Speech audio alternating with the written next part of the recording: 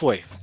Então, hoje o Gustavo apresenta, vai ser uma apresentação provavelmente em duas partes nesse seminário, porque depois provavelmente vai ter uma parte dele que vai ser lá no combinando, então vai ser bem misturado. Ah, então é um pouco de tem um pouco de grafo e tem um pouco de topologia aí misturados. Acho que hoje vai ser um pouco mais para o lado de combinatória. Então, pode ir lá.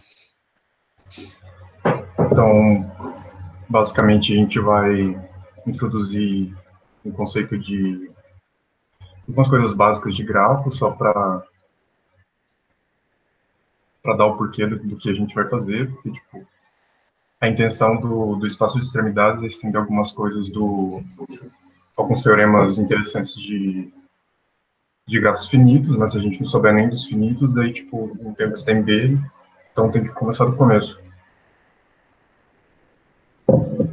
A gente vai falar sobre o espaço de ciclos, que é uma espécie de, de espaço vetorial, assim, dentro do grafo. Bom, vou começar do comecinho, começo, começo. Uh, um grafo direcionado é uma tripla que envolve E, conjunto de arestas, V, o conjunto de vértices, e uma função de incidência.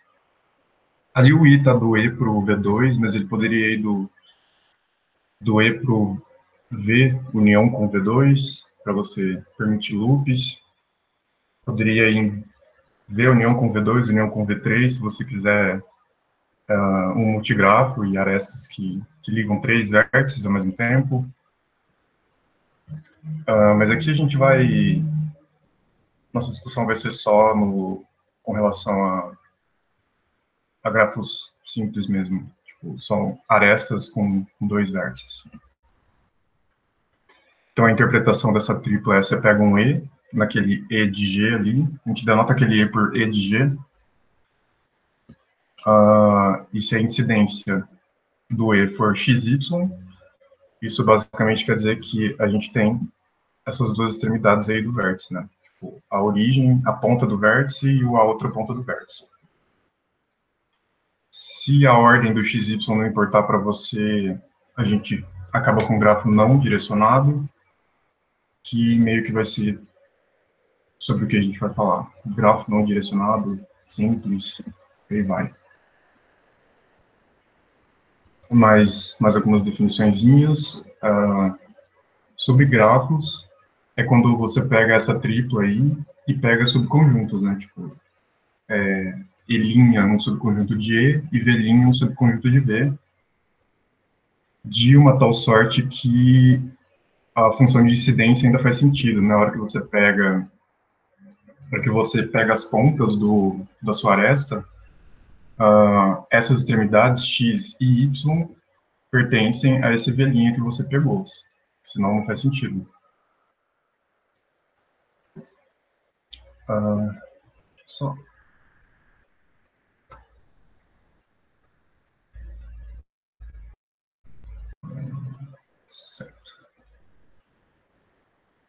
Um outro jeito de você pegar um subgrafo do, do seu grafo é você pegar, tipo, um subconjunto de vértices e se perguntar uh, exatamente quais são as arestas que incidem sobre esses vértices, né? Tipo, a gente tem esse V' aí, né? V' contido em V. E aí você pega só as arestas, tal que tanto X quanto Y aqui nessa imagem pertence ao V'. Só os caras que têm pontas no, no velhinho. E a gente denota isso por G cochete velhinho, e o nome disso é grafo induzido por velhinho.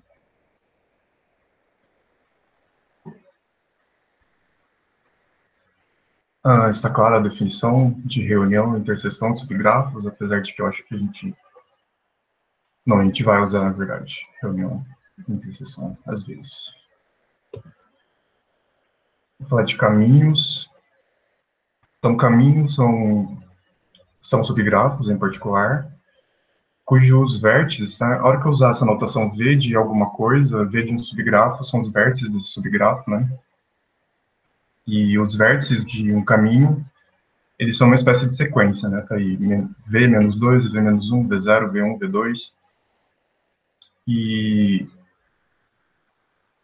essa sequência, tipo, esse caminho é tal que o Vn-1 tem uma aresta com o Vn, né, tipo, números adjacentes, vamos colocar assim, tem, tem uma aresta entre eles, e você só vai pegar essa, essas arestas do seu gráfico, né? então, tipo, literalmente, o, o que está desenhado aí é o R, são só essas arestas aí que você vai tomar. Então, se essa sequência de vértices você toma uma sequência finita de vértices, né? A gente chama esse caminho de finito. Então, isso aí é um caminho, isso que está mostrado aí é um caminho finito entre o V-2 e o V2, certo? Uh, se o N pertencer aos naturais, então, tipo, esse, essa sequência de vértices vai embora, a gente chama isso de raio certo? Tem uma setinha aí, tem, tipo, tem toda essa sequência de vértices. Sequência é injetora, tá? É bom lembrar. Se o n pertencer aos inteiros, uh, a gente tem um raio duplo. Então dá para você ir nas duas direções. Uma sequência dupla. Subgrafos de raios, que são raios, né, ou seja, subraios de raios, são chamados caudas do raio original. Então, isso que está ali em cima é um raio, e, por exemplo, a gente tem uma cauda desse, desse raio, que é V0, V1, V2, e vai embora, ou se não do V2 para frente, enfim, qualquer, qualquer N para frente que você pegar e, e considerar só, só os vértices à frente desse vértice, isso vai ser uma cauda desse raio certo? Eu, eu tô vendo as mensagens, tipo, numa outra tela, se alguém quiser, tipo, ir falando, eu, eu consigo ver aqui. Então, outra definição, muita definição agora no começo. Uh, eu defini ciclo como um caminho, mas aí eu defini o caminho como vértices, uma que é uma sequência injetora, e agora não vai ser mais. Uh, tipo, é basicamente é basicamente um, um ciclo é basicamente isso daqui quando o V menos 2 é igual ao V2, certo? A gente une as pontas. É isso. A uh, definição. Agora, falar de conexidade. Então, dois subconjuntos de vértices, eles são existe um caminho finito entre eles. Se você encontra um caminho finito que uma ponta está no A e uma outra ponta está no B, né? tipo, se é possível encontrar um grafo desse aqui, onde o V-2 está no subconjunto de vértices e o V2 está no subconjunto de vértices, o, o A e o B, tipo, esse caminho testemunha que o A e o B são na mesma componente conexa já, certo? Tipo, existe uma ponte entre o A e o B. Um grafo é dito conexo se existe, existe um caminho finito entre quaisquer vértices desse grafo. A maior parte das vezes aqui, ao longo da, da apresentação, se alguma coisa estiver dando errado e, enfim, em geral, a gente vai assumir conexidade e finitude local, né? O que é finitude local? Cada, cada vértice tem um número finito de, de arestas que incidem em cima dele. Então, enfim, em geral, essas duas hipóteses vão estar sendo usadas aqui. Então, uma componente conexa de V, né, se o G não for conexo, é o subgrafo induzido por vértices que podem ser alcançados via caminho infinito. Então, tipo, é, é a componente conexa do G que tem o V, ou são, você pega os U's que você consegue atingir via caminho infinito do seu grafo, a partir do V, e faz o grafo induzido disso e vai ser a componente conexa do V.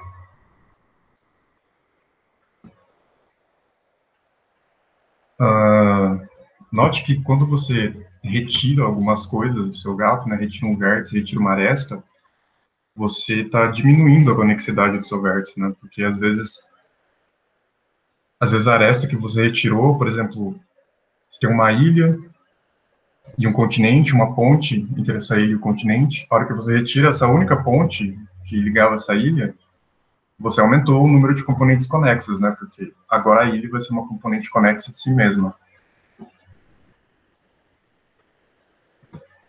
Então, em linguagem matemática, isso fica assim, né? Tipo, π0 de π1 zero de uma coisa, a gente vai dizer que é o número de componentes conexas dessa coisa. Então, a hora que você retira alguns vértices ou você retira algumas arestas, o número de componentes, de componentes conexas aumenta.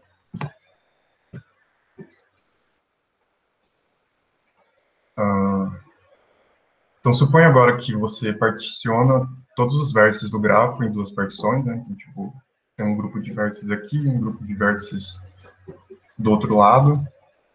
As arestas que tem uma, exatamente uma ponta em V1 e a outra ponta em V2, a gente vai chamar de corte dessa partição, né?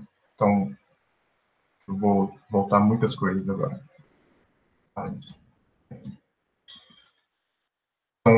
uma aresta de B do corte entre duas partições são exatamente os caras onde o X está no V1 e o Y está no V2.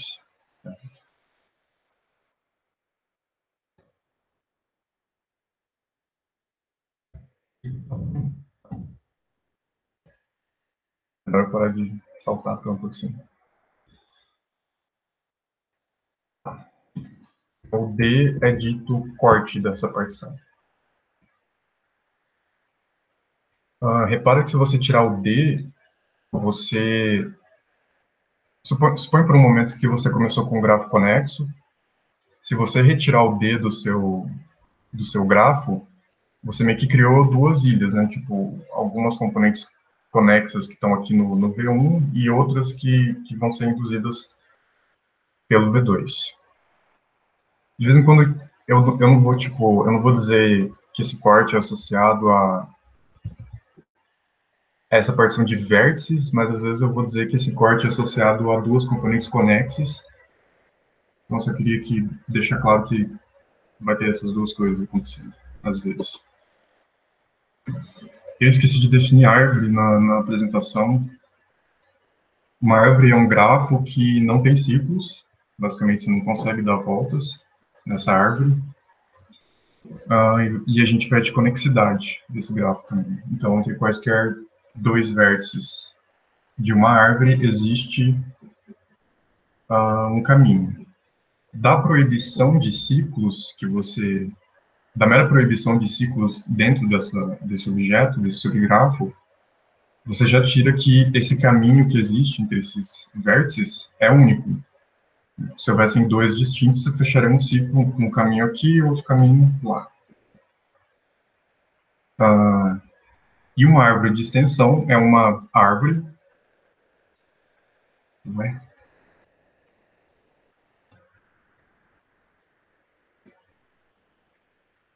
É uma, desculpa, é uma árvore mais especial ainda, que tem todos os vértices do seu grafo, né? Então ela conseguiu alcançar todo mundo. Então, uma árvore de extensão, é também chamada de spanning tree, de um grafo G é um subgrafo T, que é uma árvore, e é tal que os vértices de T é igual aos vértices de G. Se, se o G fosse, é, se o G já fosse uma árvore, então o, a spanning tree ia, ia ser necessariamente igual a ela.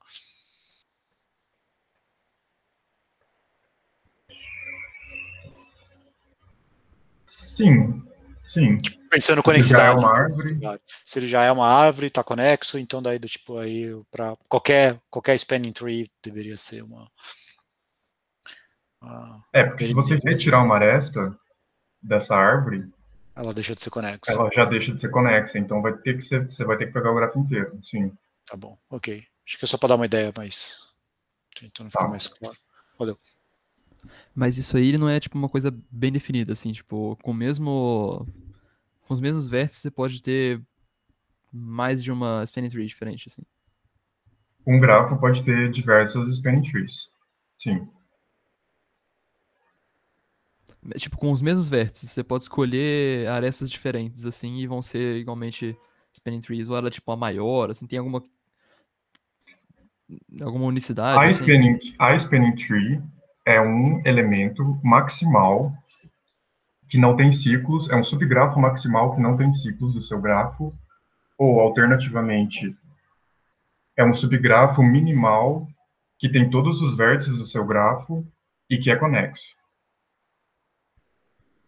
Se o seu grafo for conexo, certo? A generalização disso aqui seria uma spanning forest. Se seu grafo tiver várias componentes conexas, cada um deles vai ter uma spanning tree, e aí, né, tipo, a reunião dessas spanning trees vai formar a spanning forest. Mas, tipo, isso não... É, não necessariamente o, o caso que a Auric falou, o, a tree é única, porque você vai ter que pegar o grafo inteiro. Mas, em geral, não é único. Você vai ter diversas spanning trees e existe um teorema chamado Teorema de Kirchhoff, que, que conta as, essas spanning trees de um jeito bastante interessante, com, a, com os menores principais de uma matriz, assim, de, de incidência dos grafos. É bem legal. Tipo, tem mais do que uma. E tem um jeito interessante de contar o número de spanning trees de um grafo finito. Beleza, valeu. Beleza.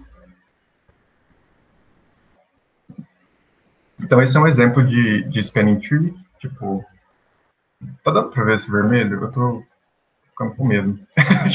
dá sim, dá sim. Uh, então, nota que, tipo, ela pega todos os vértices do grafo,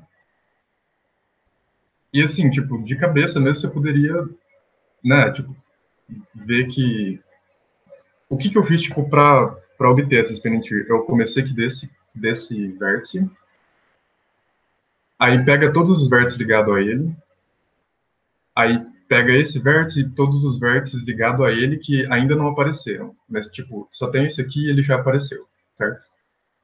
Então começa, mas esse aqui tem alguns gra... alguns vértices novos, que são esse e esse. Então adiciona eles e liga. E, tipo, esse é um jeito de obter uma, uma spanning tree de qualquer grafo conexo. Você sempre vai conseguir fazer isso. E, de quebra, você obtém uma função distância já, né? Porque, tipo, esses, essas arestas aqui estão numa distância 1 desse vértice que eu escolhi como raiz, para começar, e esses dois aqui estão numa distância 2. Então, isso já tem uso, tipo, com algoritmo de Dijkstra, com minimização de distância, esse tipo de coisa. Uh, mas se você começasse em outro vértice, por exemplo, nesse daqui, você obteria uma outra spanning tree. Uh, note que se você adicionar um, um cara que não está na spanning tree, você vai ter exatamente um ciclo. Tipo, suponha que tem outro e você vai chegar no absurdo. É, não vou, não vou detalhar muito, senão não vai dar tempo de, de chegar muito longe. Não, mas tipo, entre, entre como ela é uma spanning tree, se tem em cada, entre cada dois vértices do grafo você vai ter um único caminho usando só arestas vermelhas da árvore. E como você fechou um outro, você adicionou uma outra aresta na árvore, essa aresta está tá fora da árvore, por hipótese, você fechou um ciclo com esse único caminho que eu acabei de falar. Então, a gente vai a gente vai denotar esse CE aí, esse pontilhado, como sendo um ciclo fundamental de E com relação a T. Então, você pega uma spanning tree e acrescenta uma aresta que não está na sua spanning tree. Uh, isso vai criar um único ciclo, e a gente vai chamar esse ciclo de ciclo fundamental. E eu sempre vou usar esse subscrito E aí, porque esse ciclo é desse E, certo? Eu, eu acrescentei o E e formei esse ciclo.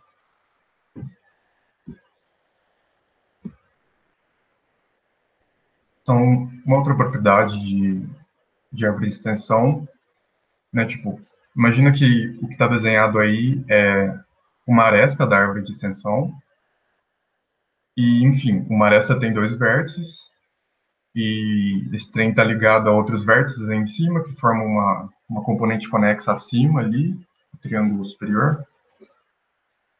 E o, o outro vértice incidente em E está conectado com uma outra componente conexa.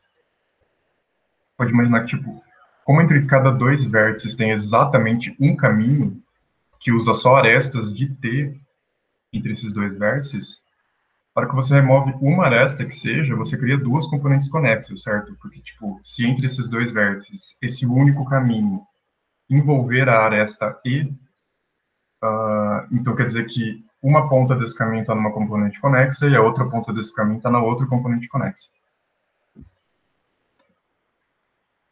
Então, isso é o que eu acabei de dizer, eu acho. Se você retirar E de T, a gente forma duas componentes conexas, cada uma contendo uma extremidade de E.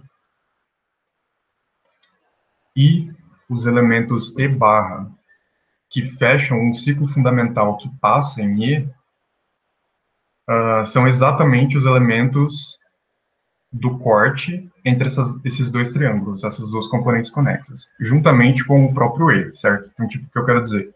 A hora que você tira o E, você forma duas componentes conexas, e a hora que você se, pergun se pergunta quais são as pontes entre essas duas componentes conexas, uma caracterização disso é exatamente o E, o próprio E, e arestas que fecham um ciclo fundamental, que a gente tinha discutido, que envolve o E. E, tipo, esse E barra aí, o ciclo fundamental dele, né? Esse ciclo fundamental aqui, C E barra,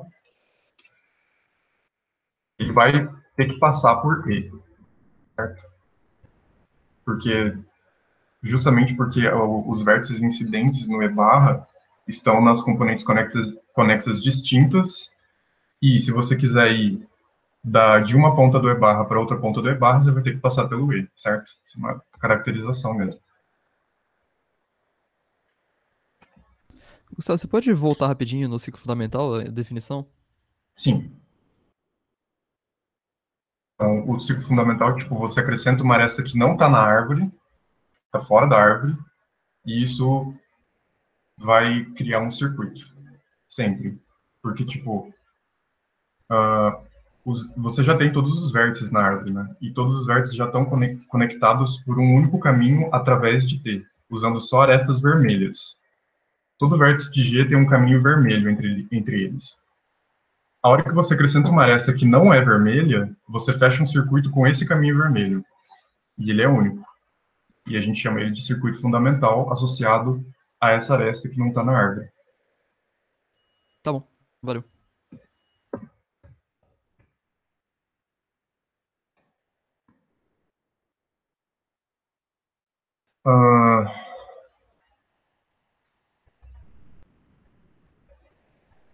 Certo. Então, isso aqui é aquela, aquela associação clássica, né? Tipo, você associa um subconjunto das arestas, você pega partes de E, pega um, um S que, que é um subconjunto de arestas, e associa com a sua função característica, que leva arestas que não estão no S em zero e arestas que estão no S em 1, certo?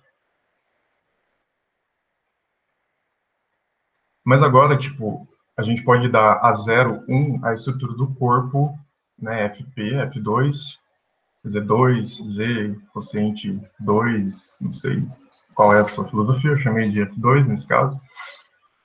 E aí isso vai dar para aquele espaço de funções características uh, uma estrutura de F2 espaço vetorial, né? Então, se a gente voltar aqui, a gente pode pegar essa aqui, S, multiplicar por zero, multiplicar por 1, somado as funções, né, pontualmente mesmo, x, xs1 de e, xs1 mais xs2 de e é xs1 de e mais xs2 de e. Uh, e 1 mais 1 vai ser zero, lembrando. De 1 vezes 1 é 1, e assim por diante, o corpo booleano clássico. Note que, quando a gente soma duas funções dessa, dá exatamente a diferença simétrica, né? Porque se você pegar um... Se você, se você avaliar o lado esquerdo da equação numa aresta que está nos dois, que está tanto no S1 quanto no S2, vai dar um mais um que vai dar zero. Então, a interseção entre o S1 e o S2 não vai estar... Tá, vai ser avaliada como sendo zero. E aí você trabalha caso a caso e descobre que, tipo, de fato, você vai ter essa igualdade. Calma, boi. Pode repetir. Oi? Oi?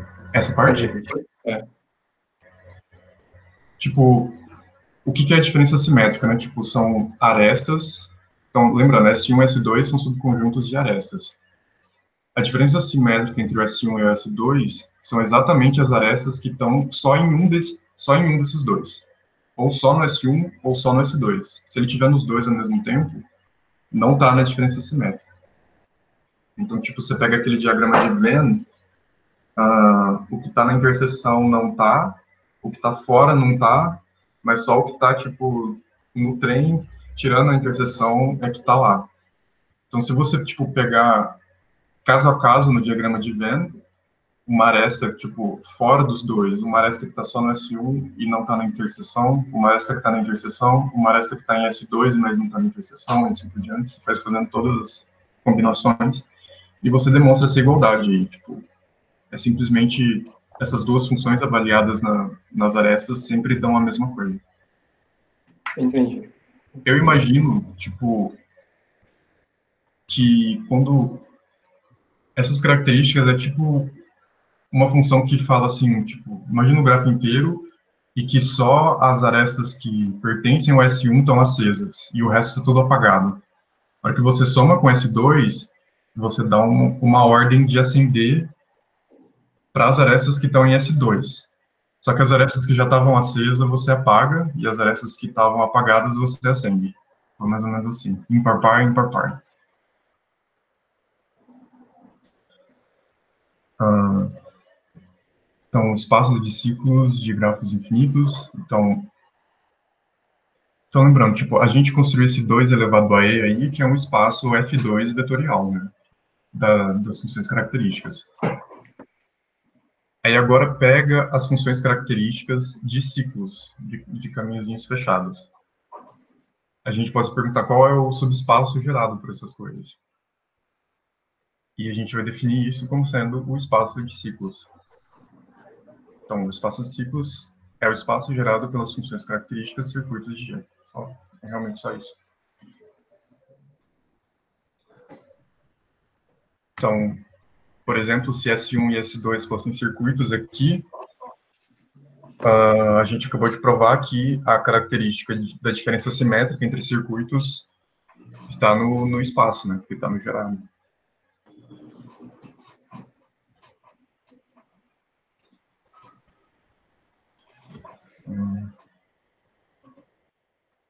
Certo. Então, a cara, tipo, desse, desse espaço é mais ou menos assim. Aquela ideia que eu falei de você só acender as arestas que, estão na característica, na função característica que você está pensando, né? Uh, um elemento, tipo, a cara geral de um elemento que está nesse, nesse espaço gerado vai ter meio que essa cara aí, tipo, de vários circuitinhos acesos ao, ao longo do, do grafo.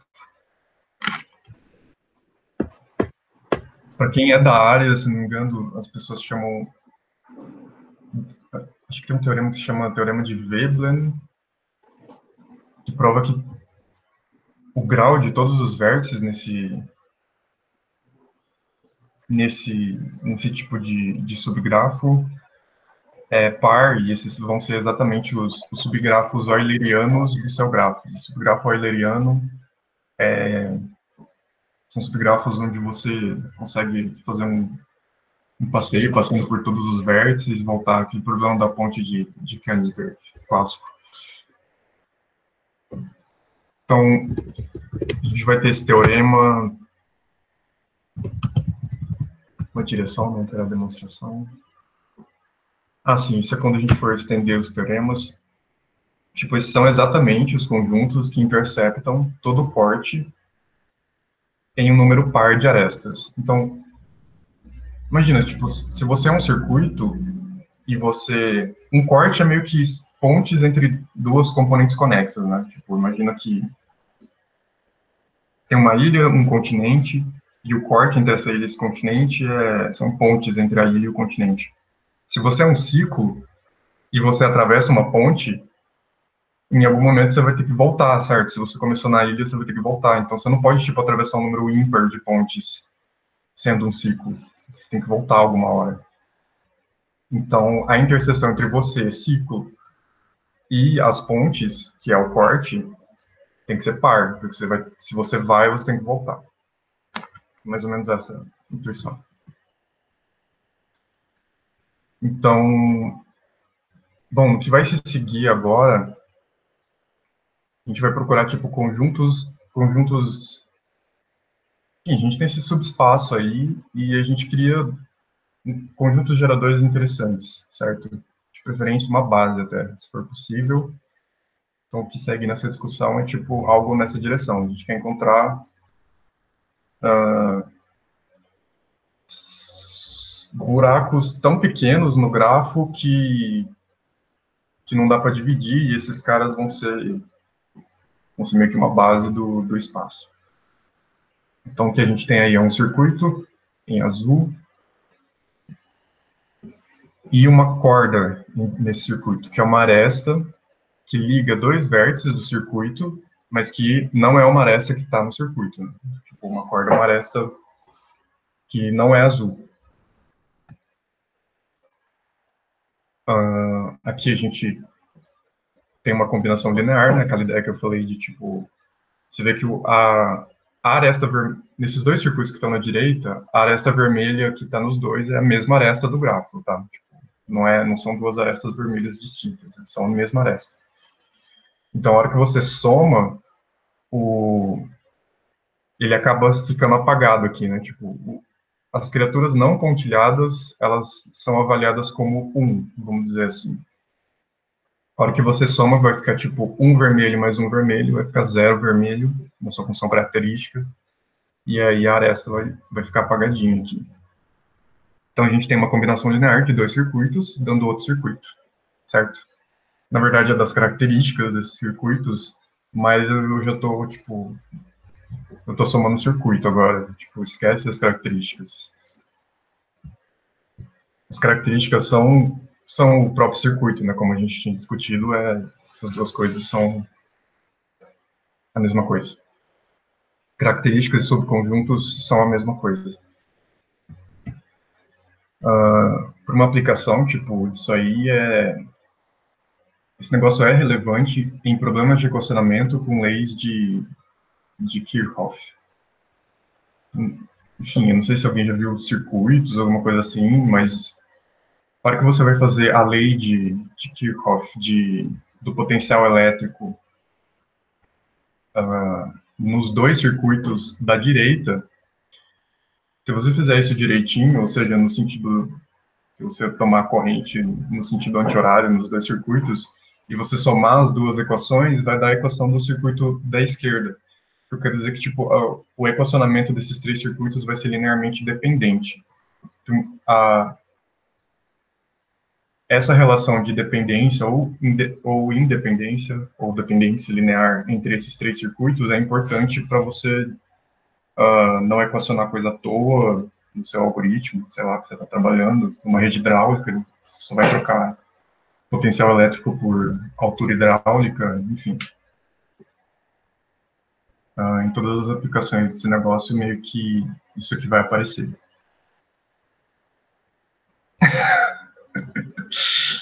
pois é, ex-engenheiro é uma coisa triste. Uh, então, dado um elemento de, do, no espaço de ciclos, note que ele tem uma corda. Se ele tem uma corda, a gente pode decompor ele como uma soma de dois ciclos sem nenhuma corda. Então, tipo, se você achou uma corda, você faz esse, esse truquezinho que a gente está usando aí e você conseguir uma decomposição em dois ciclos que não tem nenhuma. Né? Então, tipo, você meio que está tentando encontrar circuitos minimais, buracos tão pequenos que você não consegue fechar mais. Isso tem a ver com um pouco de, de topologia algébrica, mas eu não estudei muito esse negócio. Tem cara, né, tipo, daquelas coisas de fundamental, mas eu não fui muito, eu não adentrei muito esse negócio, porque eu já entrei num, num buraco negro sem fundo com, com esse projetinho. Uh, aqui eu tô, tipo, só tentando fazer uma argumentação uh, informal de que você pode ir fazer, se tiver mais corda, você pode ir fazendo isso e decompondo em caras que têm menos corda, certo? Estou tentando fazer um argumento indutivo aqui que, enfim, você sempre vai conseguir fazer uma soma com caras que não têm corda. Então, circuitos sem corda são, são esse, essa nossa base que a gente está procurando. E eles também são chamados de circuitos induzidos, né? Porque, tipo, pega o conjunto de vértices de um circuito e toma G cochete esse conjunto de vértices, né? ou seja, o subgrafo induzido por todo o grafo pelos vértices do circuito. Se tiver uma corda, ela vai aparecer, certo? Tipo, se essa corda aqui existe, aqui nesse circuito, o mouse aparece, né? Nesse circuito que o mouse está andando. Se você pegar os, o subgrafo induzido pelos vértices dele, essa aresta vermelha vai aparecer porque ela pertence ao grafo, certo? Ela não pertence ao circuito, mas ela vai aparecer. Então, os circuitos induzidos, ou seja, quando você induz pelo grafo da ele mesmo, uh, são exatamente os circuitos sem corda. E eles geram o espaço dos circuitos. Eles são a base bonita. Certo? Então, eu vou tentar provar que, tipo. Ah, o que, que eu vou tentar provar? Depois, depois que eu terminar a demonstração, eu vejo que eu provei. Eu pego uma árvore de extensão e C um ciclo sem corda. Então, pega esse C aí e supõe que ele seja um ciclo que não tenha corda. Lembrando que corda é uma aresta que, tipo, tá fora do circuito e que liga dois vértices do circuito. Então, considera S uh, o subgrafo induzido pela árvore. Então, são arestas que estão na árvore. Arestas que estão na árvore são vermelhas, né? Então, tem o T vermelho aí. E aí você pegou um S, o subgrafo induzido dentro da árvore pelos vértices do circuito. Então, a gente tem esses vértices aí do circuito e a gente pegou as arestas que pertencem à árvore que ligam esses caras. Tipo, para começo de conversa, todos como essa árvore é de extensão, todos esses vértices vão ser cobertos por essa, certo? Porque sempre vai ter um caminho entre a árvore, dentro da árvore, que liga as, esses vértices. Por hipótese. E o S, que é esse conjunto que está aí em vermelho, ele não vai poder ter ciclo, porque ele é um subgrafo da árvore. E a gente definiu que árvores não podem ter ciclos dentro delas. Então, o S é um subgrafo do T, ele vai ser conexo, por tudo isso que a gente discutiu, ele não vai ter ciclos, porque árvores não têm ciclos, e ele vai ter todos os vértices de, de C, porque a árvore é de extensão, é uma spanning tree. Então, suponha, por, por contradição, que o S não é um subgrafo do circuito, então, tipo, que é o que está acontecendo aí, né? Uh, você tem arestas que estão no S que não estão no, no circuito. Só que isso são exatamente cordas, certo? E a gente assumiu que o circuito não tem cordas. Então, o que está desenhado aí não pode acontecer. Então, o S é para ser um subconjunto do, dos circuitos.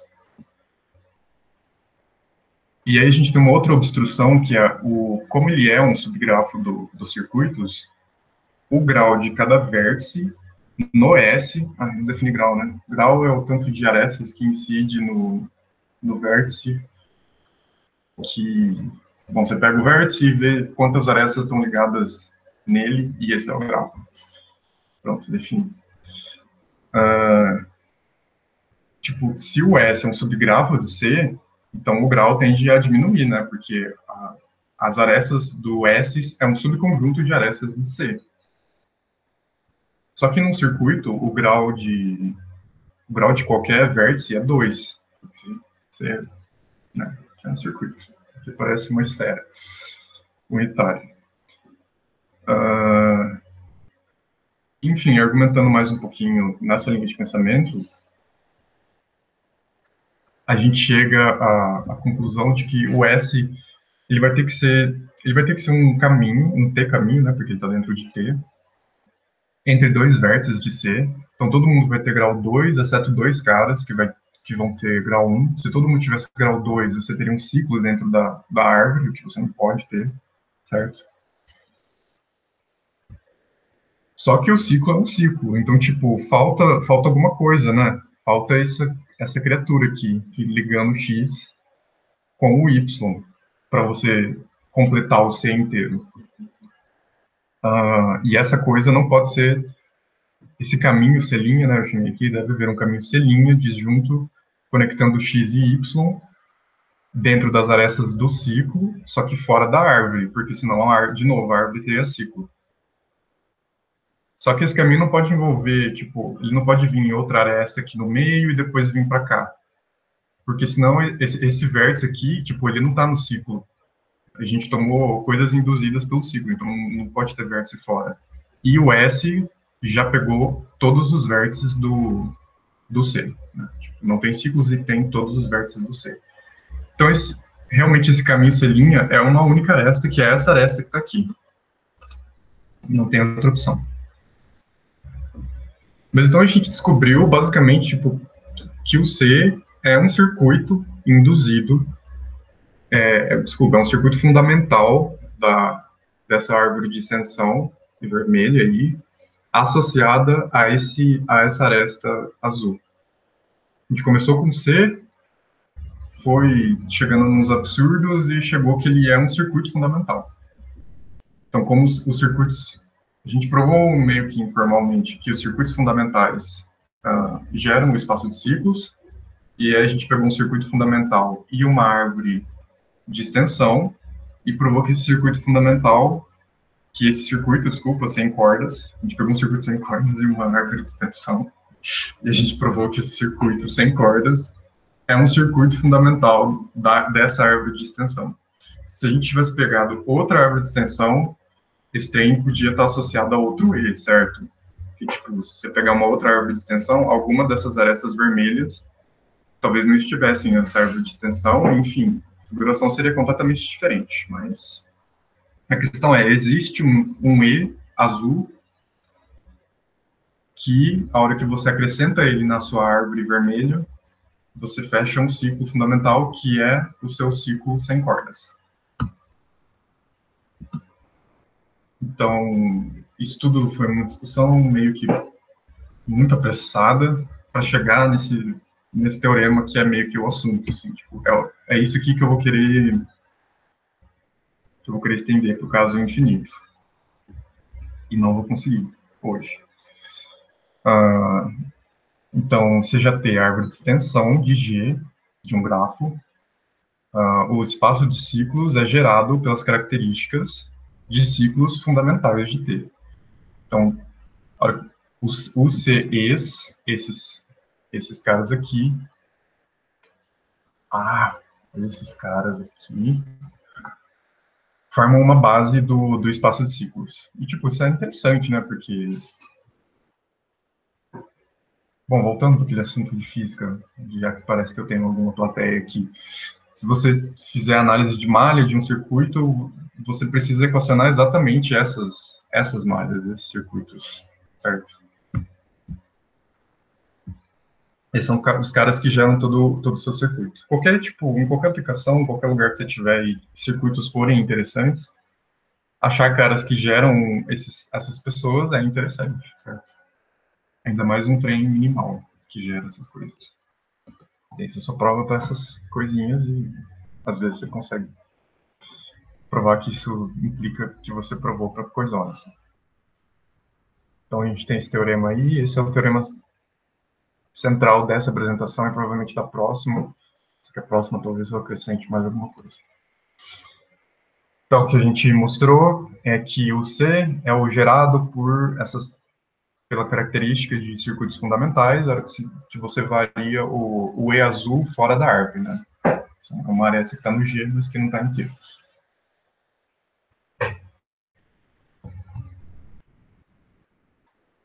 Ah, certo.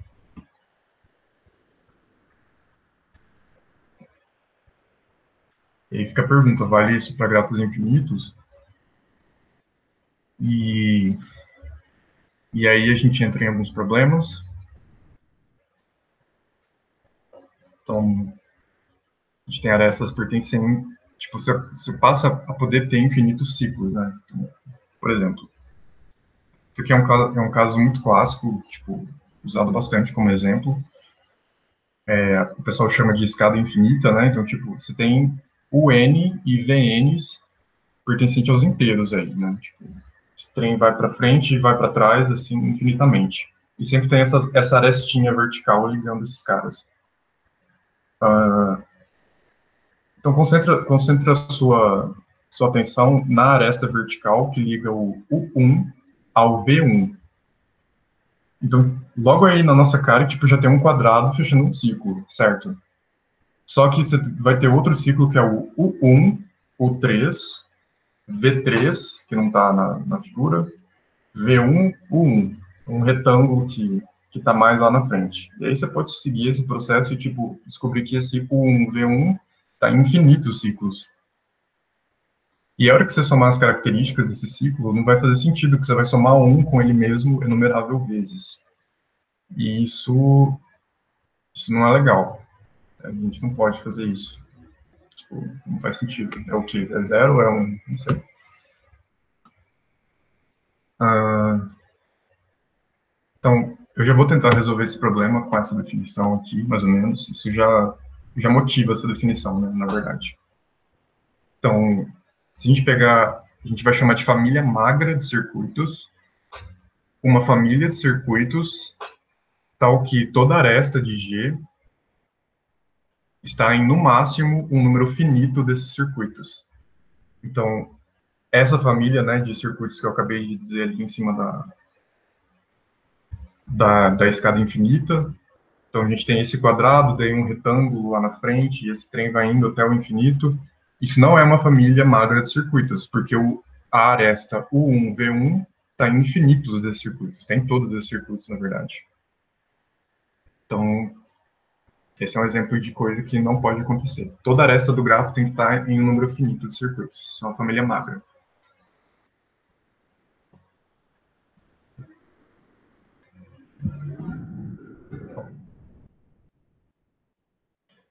E a gente, eu tentei achar uma, uma motivação tipo, mais clara do porquê que a gente vai considerar alguns pontos no infinito, no grafo, mas isso parece estar mais associado com, com extensão de algumas propriedades de, de dualidade de grafo, e, enfim, isso é assunto para seria assunto para outra, outra apresentação.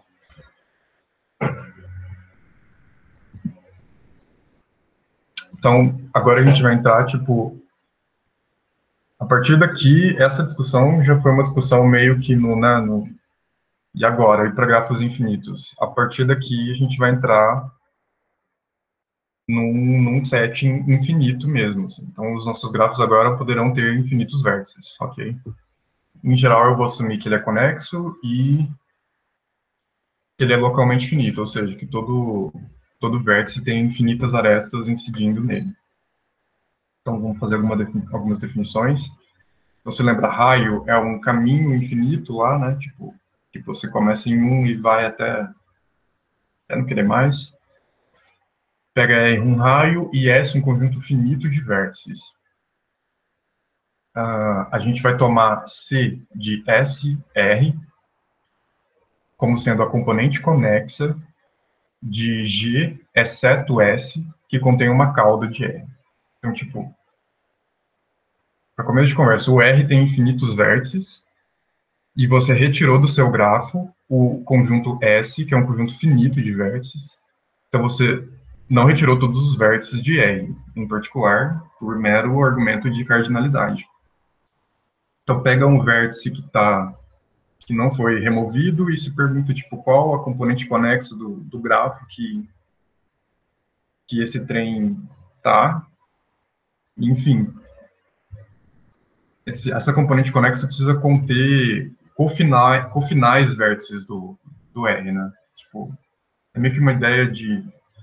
A ideia intuitiva aqui é mais ou menos, tipo, o R é, uma, é um net e essa componente conexa é aquele aberto que você encontra quando a sequência converge para alguma coisa.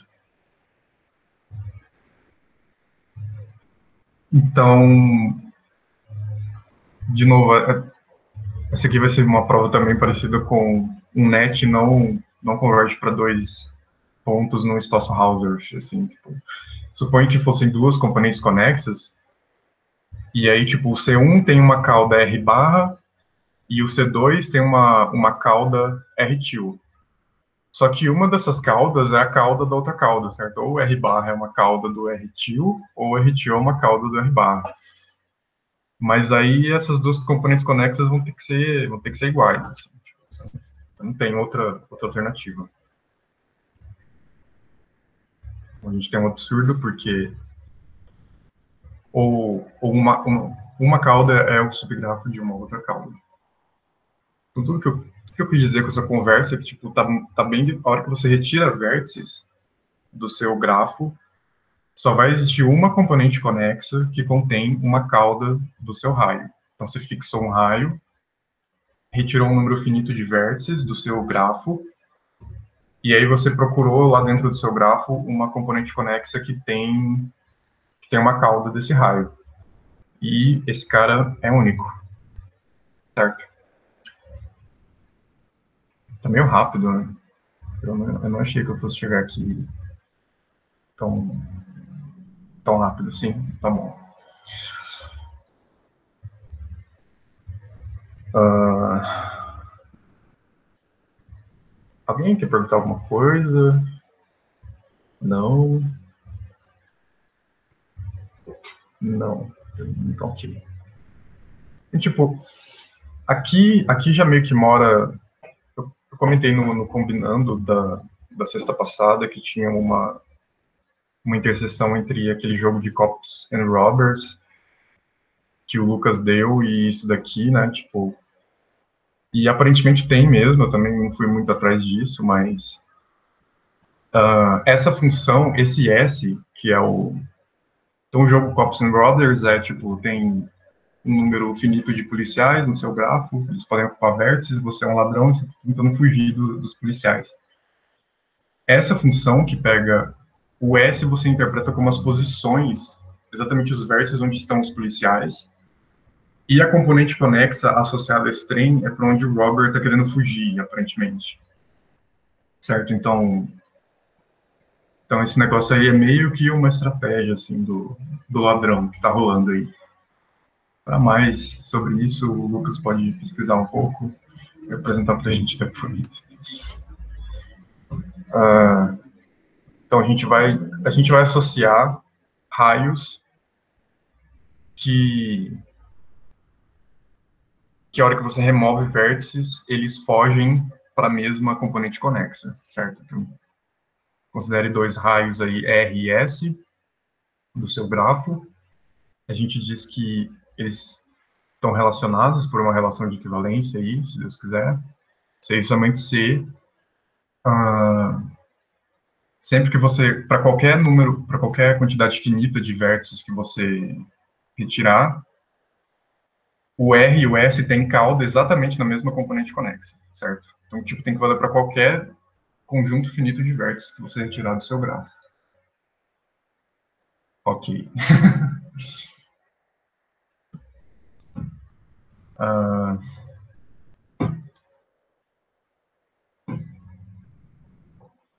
Então, isso é uma equivalência porque do jeito que eu defini tá tão, tá tão ok que, né, tipo, é porque igual é uma equivalência.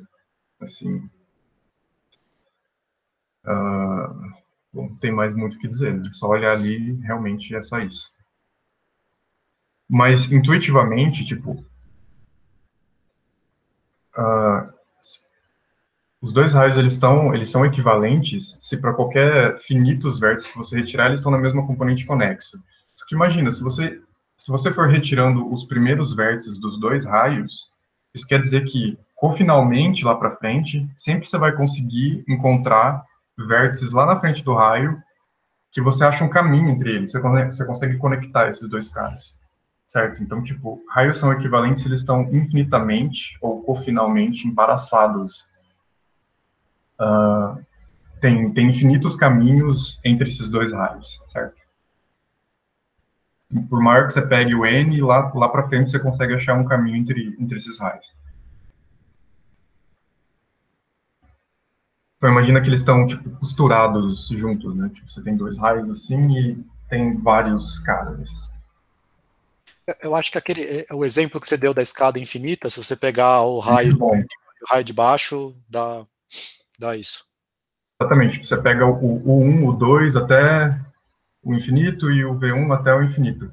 Eles estão embaraçados, né? Tipo, finalmente embaraçados. Tem sempre essa o braço da, da escada, tipo, conectando esses dois raios. Então o R1 e o R2 eles vão estar associados, eles estão embaraçados e o S2 e o S1, eles estão embaraçados também. Certo? Então, raios de mesma cor aí, eles são equivalentes.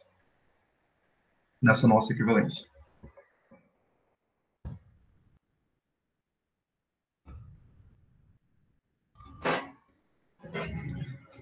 Uh, então, finalmente, a gente está pronto para definir o que é extremidade. Né? Então, nosso conjunto de extremidade é, a gente vai pegar uh, conjunto de, o conjunto de raios do, do seu grafo, e a gente vai quocientar por essa, por essa relação de equivalência, e a gente vai obter esse ômegazão de G aí, que é o conjunto de extremidades. E a classe de equivalência do, de um raio, eu vou usar essa notação de cochete aí. É interessante lem lembrar que, tipo, esse cochete, ele, é, ele depende do G, porque se eu remover algumas arestas do G, grafos que eram identificados antigamente podem passar a não ser mais identificados, certo? De novo, no exemplo da escada,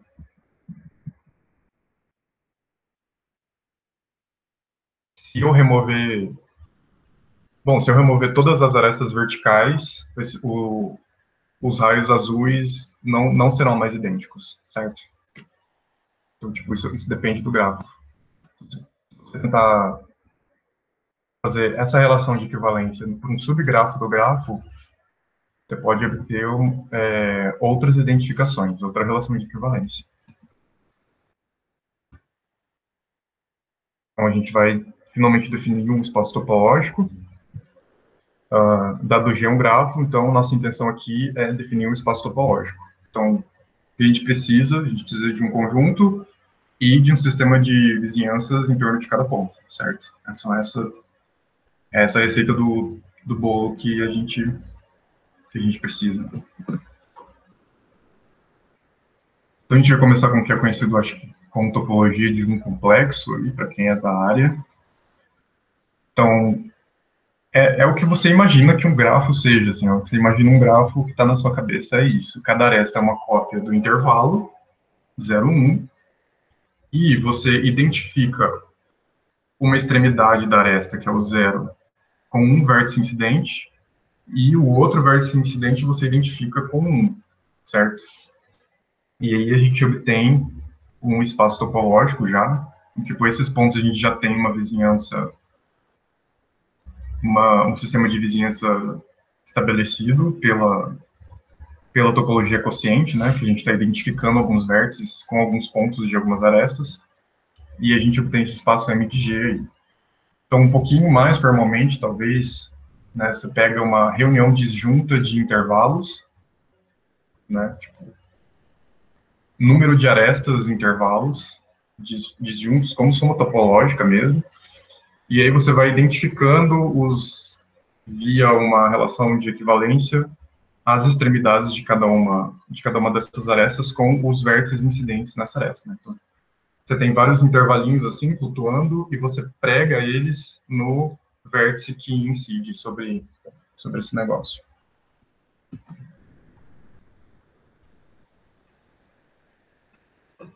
Uh, então considere agora então, nosso, o conjunto desse espaço vai ser isso daí, né? M de G, união com as extremidades, união disjunta. Então, no M de G, a gente já, a gente já tem um, um conceito de topologia estabelecido.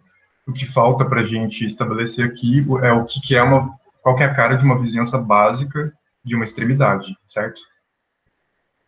Então, a gente vai definir isso agora.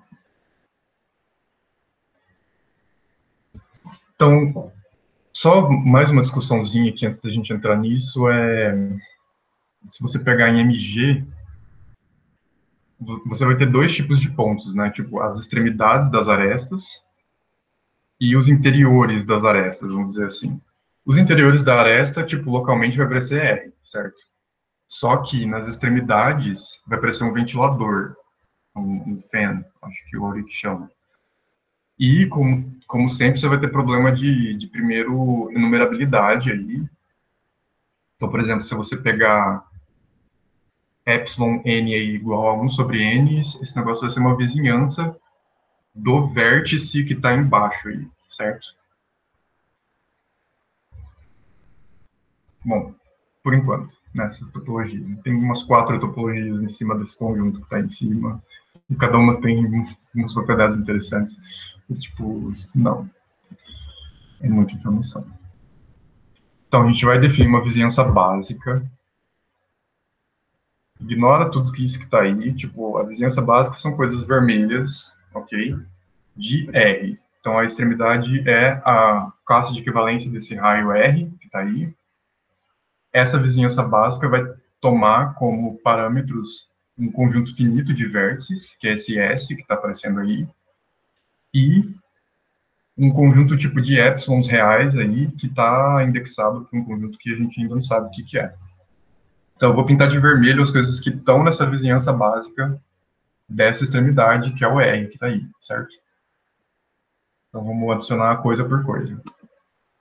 Então, tipo, vamos começar pelo R, que é a coisa mais óbvia, né? Tipo, o R tem que estar na, na vizinhança básica dele próprio. Então, tá aí o R. Ele é um raio... Tô tomando, tipo, pega o R como representante do, da extremidade, enfim, coloca ele aí, ele é um ponto do... Eu estou representando extremidades como um raio representante dessa extremidade, algo assim, certo? Se você pega esse um conjunto finito de vértices, uh, a gente tem que ter uma componente conexa, C, né, que a gente já tinha discutido, C de S e R, isso está bem definido, não importa, tipo, o, por definição do que é equivalência, né, não importa o representante de R que você pega aí, você vai ter a mesma componente conexa, então tá tudo bem, que é a componente conexa do G, tirando esses vértices que contém uma cauda de R. Então, a aparência do negócio vai ser mais ou menos assim, né? Tipo, você tem...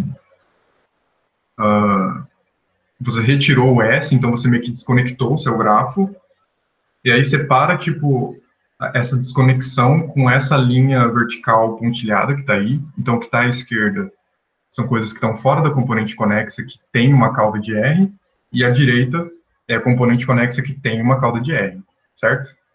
E aí tem um monte de ponto, um monte de, um monte de aresta, enfim, tem todo esse negócio aí. E o R vai ter uma cauda lá dentro que, né, tipo, é representado por uma parte, por essa partezinha que está dentro da componente conexa. Então, acrescente extremidades S que tem cauda na mesma componente do que o R. Então, tipo, se você pega um outro raio e se pergunta qual é a componente conexa que tem uma cauda desse raio, quando eu retiro o S do grafo, se a resposta for a mesma que está aí, se for CS de R também, você acrescenta essa extremidade no, nessa vizinhança básica que a gente está tentando construir. Então, a imagem é mais ou menos essa aí. Repara que isso está bem definido. Qualquer representante, se você pegasse um outro raio equivalente a S, você obteria que ele está na mesma componente conexa, porque é equivalente a S. E, certo, então, tipo, essa é a cara da vizinhança básica no, nas extremidades, no, nos pontos do infinito. Agora, considere o corte, né, as pontes que estão ligando a componente conexa que está ali à direita e a componente conexa que está à esquerda, ou seja, o que está na componente conexa do R e o que está fora. A cara do corte é mais ou menos essa, né? Tipo, pontos que, que ligam as duas coisas. Então, repara que agora a gente já tem aquele conjunto de índice que eu falei que a gente não tinha. Então, pra, é, você vai ter epsilon e, onde são arestas, e essas arestas estão no corte, determinado por S. Então, uh, para cada epsilonzinho que, real que você colocou ali, você vai tomar essa vizinhança, assim. Você vai pegar o vértice que está na componente conexa, medir epsilonzinho assim, e aí você pega o, o interior.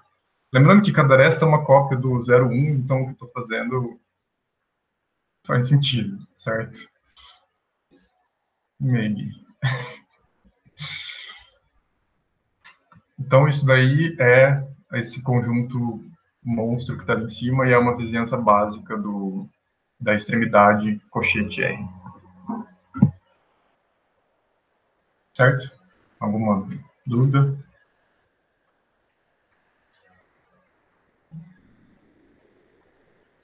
Eu, eu, eu, por que, que você está mexendo? Por que, que você está pondo essas cópias, é, essas cópias de R nas arestas? Por que, que não. Ah, por que a gente não está falando só de vizinhanças de, de elas serem feitas só pelos vértices? Vai ter alguma, vai ter alguma utilidade fazer isso aí com as arestas depois? Bom, tipo, nessa aplicação em especial, assim, eu, eu não achei, tipo, um, uma motivação tão boa para ter esses pontos. Tipo, a motivação especial vai ser é a hora que você tenta dualizar grafos infinitos, aparentemente. Mas, isso, isso que a gente está fazendo, para o caso localmente finito, se, se tem alguém de, de topologia algébrica, isso, isso que a gente está fazendo corresponde à compactificação de Freudenthal para o espaço M compacto uh, topologia de um complexo do seu grafo localmente finito, certo? Então, no caso localmente finito, a hora que você pega o, a topologia de um complexo e você se pergunta qual que é a compactificação de dental desse negócio, vai dar, tipo, esse conceito que a gente está tá fazendo aí. Para grafos mais complicados, aparecem coisas novas aí. Então, isso, isso já aconteceu na, na topologia antes desse, desse negócio, certo? Então, por, por, um exemplo, tipo, considera a árvore, a árvore binária infinita como grafo mesmo, não como, como sequências. Você pega mesmo o vértice e vai ligando com arestas, assim. Uh, a hora que você considerar essa topologia só nas extremidades, ela vai ficar parecida com, com o espaço de Cantor.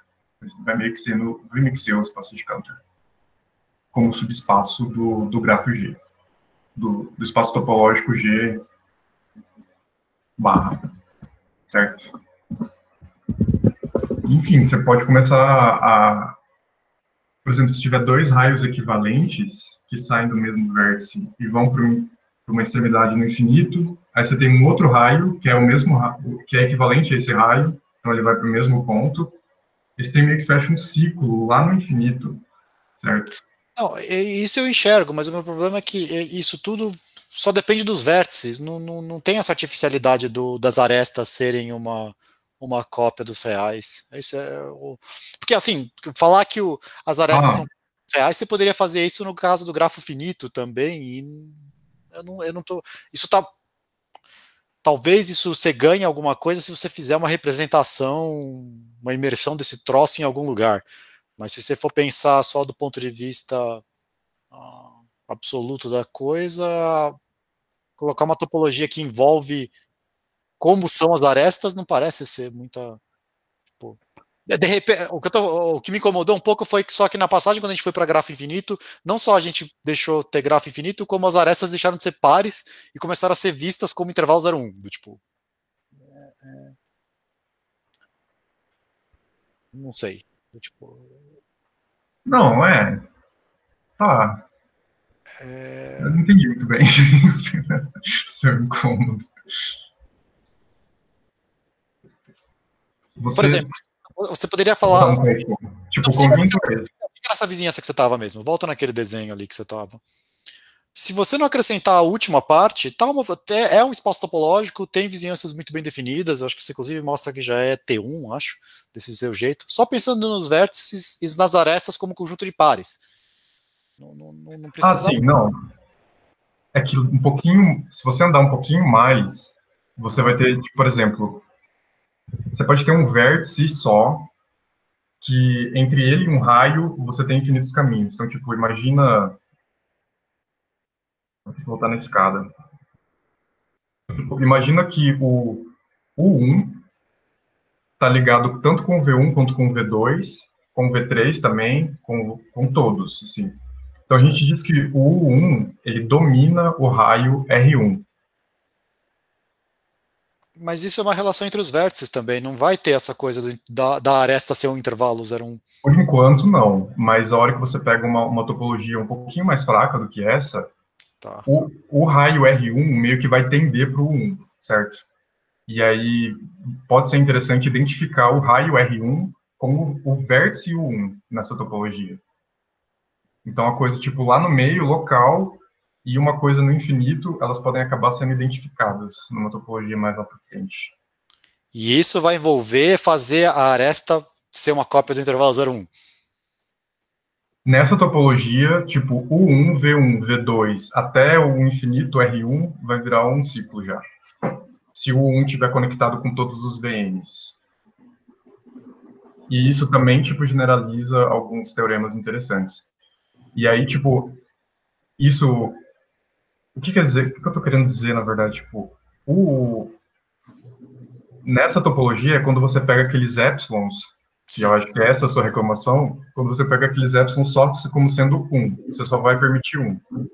E aí o 1 e o R, eles não vão conseguir ser separados a la Hausdorff, assim, sabe? O, o R e o 1, eles vão estar, tipo, muito colados topologicamente. E aí você vai identificar esses caras e conseguir alguma coisa interessante. É que a, a, a, eu não, não sei se você se ficou claro para é que eu acho que eu entendi um pouco o que você está falando, mas é que acho que eu estou falando sobre outra coisa. Do tipo, eu, eu, entendi que você fazer o caso do raio infinito, tudo bem, eles serem muito próximos um de cada um, beleza, tudo bem.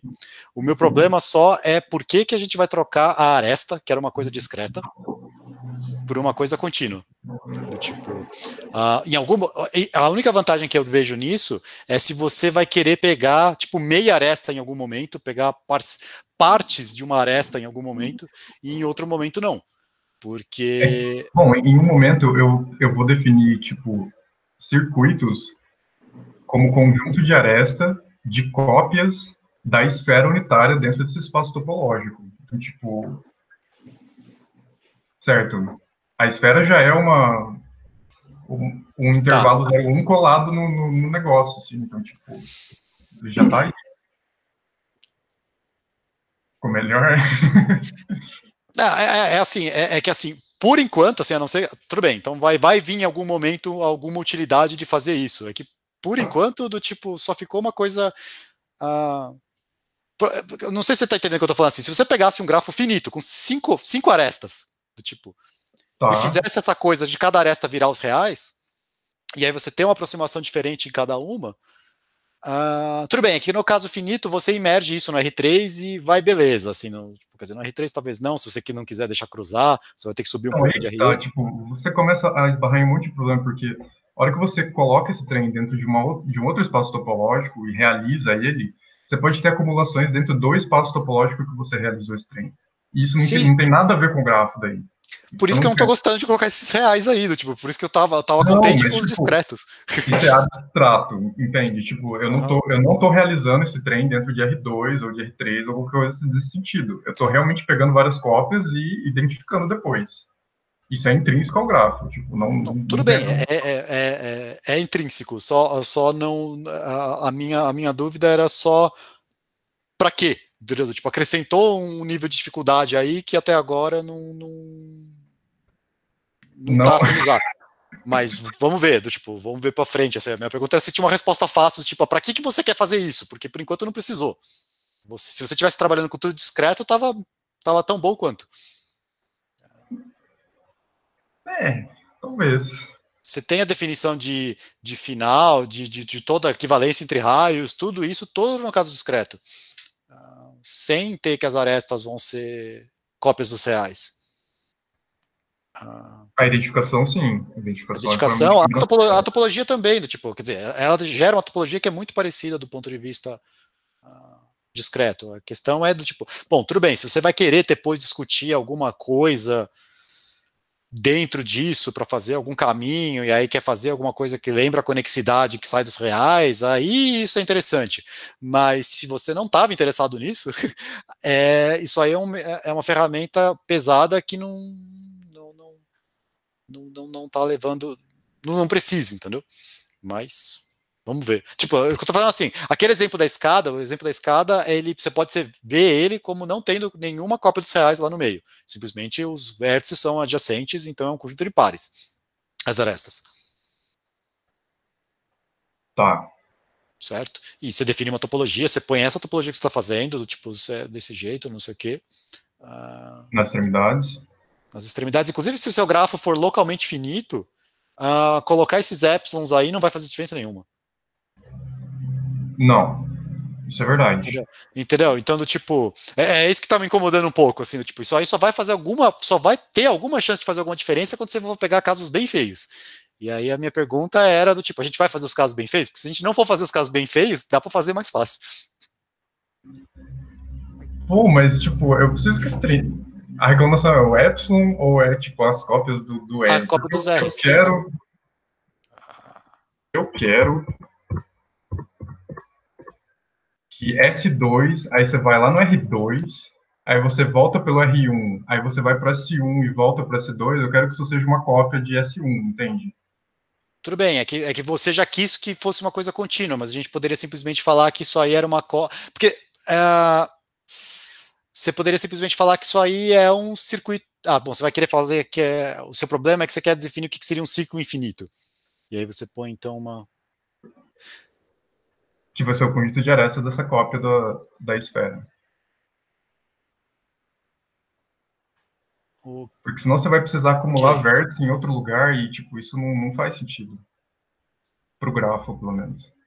Não faria sentido você fazer que isso aí é uma... A, é, é a compactificação, deixa eu ver, de um ponto dos inteiros.